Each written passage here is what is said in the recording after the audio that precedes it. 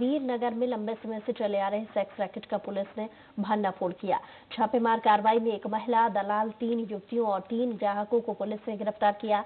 आरोपियों के खिलाफ पीटा एक्ट के तहत मामला दर्ज किया गया है। ये सेक्स रैकेट महावीर नगर स्थित प्रेम पार्क अपार्टमेंट के फ्लैट नंबर 101 में पिछले एक महीने से किया जा रहा था।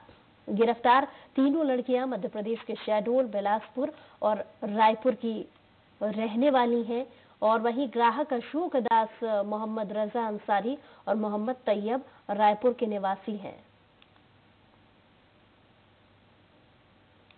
ये पीएस राजेंद्र नगर का मामला है। पीएस राजेंद्र नगर में अमलीडे में एक, रेसिडेंशियल फ्लैट में देह व्यापार की सूचना थी।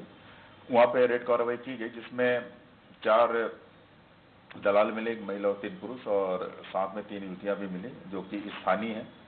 आ, उसमें से एक के पास एक चाकू भी मिला जिसमें पीटा एक्ट और आपसे के अंतर्गत कार्रवाई की गई है। सभी आरोपियों की विधिवत गिरफ़्तार करके जुडिशियल रिमांड पर न्यायालय रवाना किया गया। तमनार में नशीली सिरप